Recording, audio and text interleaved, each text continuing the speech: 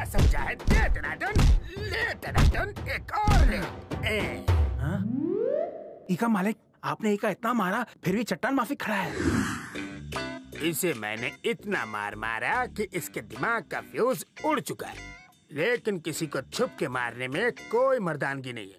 चल जल्दी पर्दा हटा।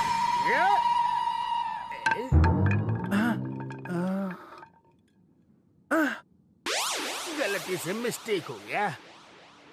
It's a mistake of identity तुम मेरा फ्यूज उड़ाओगे माँ कहती है गलती इंसान से ही होती है। साहब की तो बच गई बैंड